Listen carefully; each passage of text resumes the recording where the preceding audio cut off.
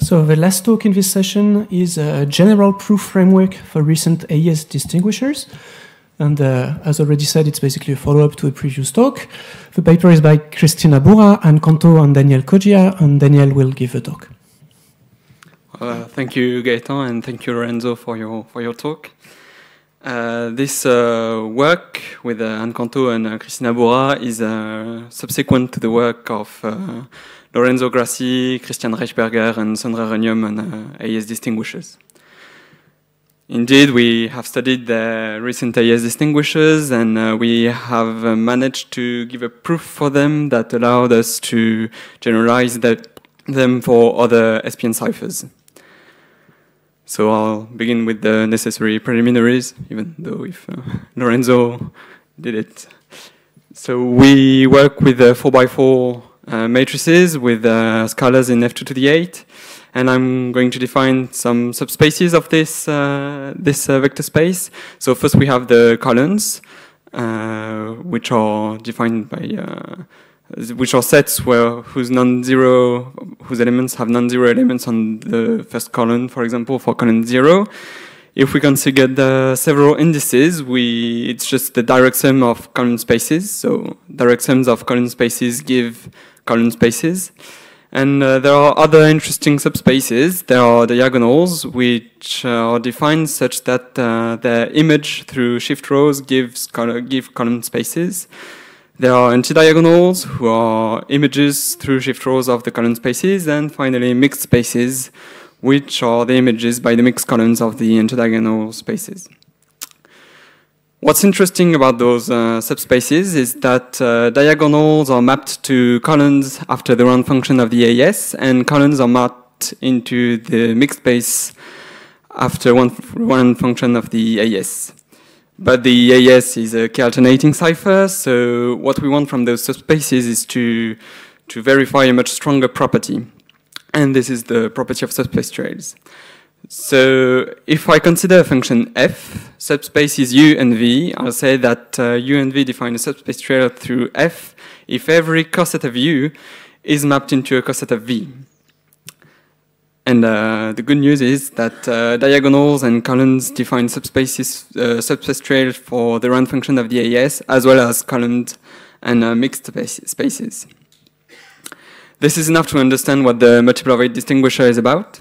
So take an element A, you take a diagonal space and a mixed space. And if you count the number of pairs uh, of elements who belong to, well, of elements from this coset uh, of the diagonal, whose difference after five rounds belong to the same, to the chosen mixed space, well, this number will always be a multiple of eight. So what have we done with that? Um, in the original paper, so at Eurocrypt uh, 2017, uh, it was said in the in the proof that uh, the this multiple of eight property uh, would not depend of the details of the S box, but that the linear layer would need a maximal branch number. Well, we weren't really conv convinced with that, and uh, we had to write a new proof to be convinced that the maximal branch number is not necessary. And the fact that we didn't need this maximal branch number made us ask if uh, it was possible to adapt these distinguishers to other SPN ciphers. So we, have, we will have to look into the details of the proof. What's interesting is that we have those uh, two round subspace trails. The key thing is that those subspace trails are linked by a one round property between mixed spaces and di diagonals. This property should look familiar. If you look at the number of pairs of elements from uh, this coset uh, of a mixed space that whose difference after, after one round belongs to the same diagonal, this number is a multiple of 8. To prove this, we begin with uh, the definition of an equivalence relation between pairs of states. So here I have the example of a, of a pair of states in the mixed space 0. So this is a dimension 4 subspace. And if we look carefully at this, this, the elements of this pair, we see that they share coordinates on basis vectors 2 and 3, but they have different coordinates on columns on basis vectors 0 and 1. And then we define the information set k of such a pair as the indices of the basis vectors where the coordinates differ. So in my example, the, the information set will be 0, 1. If I take this other pair, I see that it also has different same uh, same coordinates on basis vectors 2 and 3, but different coordinates on uh, basis vectors 0 and 1. Moreover, if I look carefully at uh, coordinates on basis vectors 0 and 1, they are the same as the first pair, but they have been swapped. So that's how I define an equivalence relation. If I take two pairs P and Q, if they share the same information set, and if inside the information set the coordinates are the same but have been at most swapped, I'll say that those pairs are equivalent. What's really nice with this uh, equivalence relation is that this uh, function delta, which which takes as input an unordered pair and computes the difference after five rounds, while this function delta is constant on equivalence classes. Another nice property is that the cardinality of equivalence classes can be easily computed uh, in function of the size of the information set. So I have this power of 2, and uh, this exponent is always bigger than 3, which means that uh, this uh, cardinality will always be a multiple of 8. So if I take back the lemma, if I write the number n as the number of pairs uh, whose difference after one round belong to the same diagonal, I can express it as uh, the cardinality, I mean, as the number of pairs whose image through delta belongs to the diagonal. Since equivalence classes uh, form a partition, I can write n as the sum over the equivalence classes, and if you look at those uh, intersections, the fact that delta is constant on equivalence classes means uh, implies that uh, this intersection is either the empty set, either the whole class. And since all the classes have a cardinality which is a multiple of 8, the number n is a multiple of 8. So what about the branch number? Well, the inference of the branch number is the following. If I take B, if I call B the branch number, uh, it permits, it allows me to refine in the, in the expression for which equivalence class I will have an empty set or possibly a non-empty set. But it won't affect the multiple of property. So our first question is answered, and uh, we will see now how we can use this proof to, for other SPNs. Well, I have to explain how we generalize uh, a bit this proof. So remember that a few slides earlier, we defined the mixed spaces as the image of columns through the linear layer of the AES. Then, uh, once we had the mixed spaces, I defined an equivalence relation, uh, which was highly dependent on the structure of the mixed spaces. Indeed, I needed to express basis vectors, coordinates, and this equivalence relation uh, allowed me to state this uh, very important theorem for me, and which relies, uh, which depends on the, the, the, round function of the AES. So there has to be some uh, magic between uh, the structure of the mixed space and the round function of the AES to have this theorem to hold. What is it then? Well, I'll give you a hint. This is the basis of the mixed space 0, 2 in the canonical basis. Uh, the canonical basis is basically the basis on which the sub-bytes operation is defined. And what should be obvious is that this basis forms a block diagonal matrix. That's we, that will be the, the main characterization of subspaces that could replace mixed spaces in what we want to do. We, we call them compatible with sub-bytes subspaces. So what characterizes a, such a subspace V is that it got, it's got a basis G, which can be expressed as the block diagonal matrix uh, in the canonical basis. The blocks can have any size. Uh, what matters is the number of blocks. Indeed, the number of blocks h will give me uh, the modulus of the, the cardinality of equivalence classes. Well, this is a, more trivial example than uh, the previous one, but this is the, the, the, mixed space which is used in the Eurocrypt uh, paper uh, and in the mixture differential we just saw. So you see the block diagonal basis of uh, M0, so it's compatible with sub-bytes and the theorem holds and everything. Well, I get back to the first mixture, to the mixture differential uh, of Lorenzo, because this uh, this way of uh, th seeing things permits to to prove it in uh, another way. So uh, I'll state it with uh, my own notations, which are very inspired of Lorenzo's notations. So I take an element A, I take this vector subspace U, and I take a mixed space. I choose a mixed space. I take elements of this form, P, uh, P0, P1, Q0, Q1, and the result is that the difference after four rounds of the pair P belongs to the mixed space I've chosen if and only if the difference after four rounds of the pair Q belongs to the mixed space.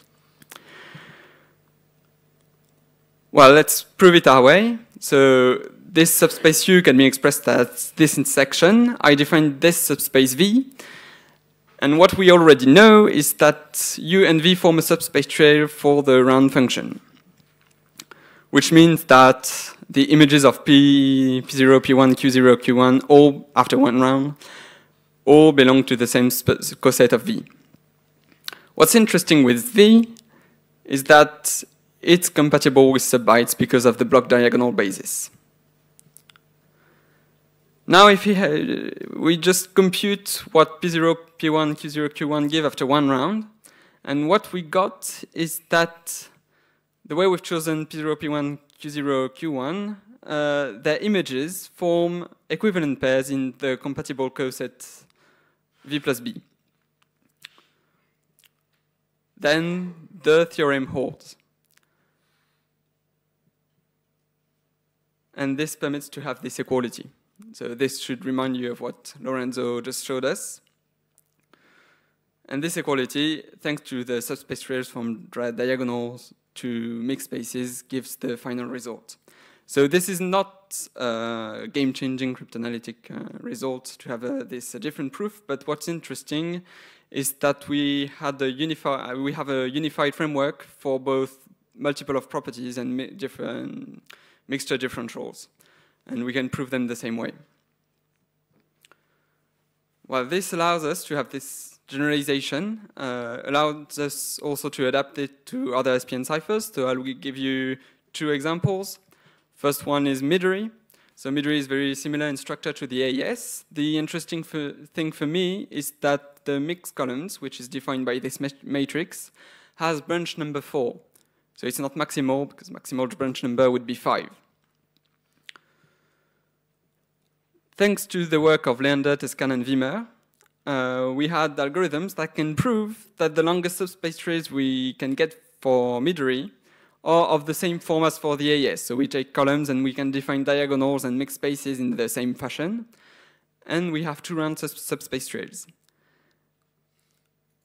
The mixed spaces for Midori, so for example here you have the Midori mixed space 0, have also block diagonal basis with four blocks. So we also have equivalence classes with cardinality multiple of eight because there are four blocks.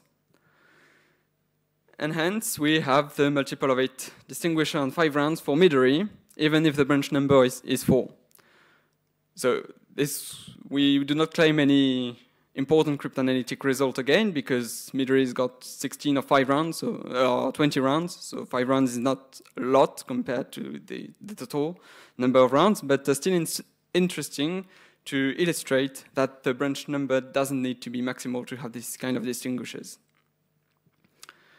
The other example is Klein. Uh, it's got a slightly different state uh, but the components are nearly the same, uh, substitution layer, permutation, and a mixed columns. Then just, so again, the algorithms from uh, the, for that from uh, Leander, Tezcan, and Wiemer uh, allow to find the longest subspace trails. So it's very similar to what we had with the AES and Midori.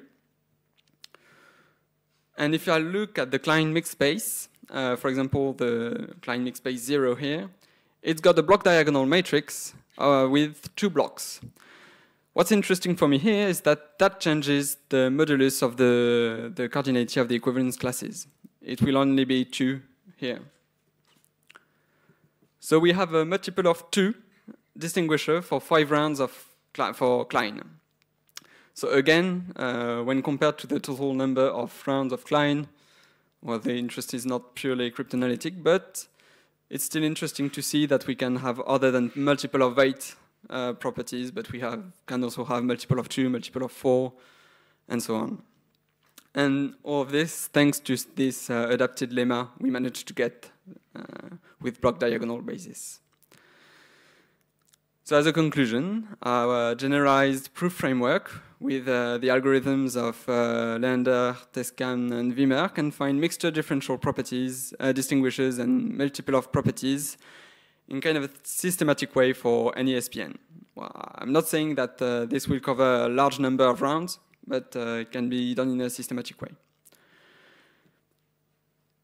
As for the improvements uh, of these techniques, I think they are highly limited by the, the length of the subspace trails we can get. Uh, but basically, the longest subspace trail we can have, uh, if the final space of the subspace trails can have a block, uh, block diagonal basis, we can build such a distinguisher. But again, the length of, of such a subspace trails is too limited to give big improvements of these techniques. Well, thanks for listening, and if you have any questions, I'll be happy to answer them.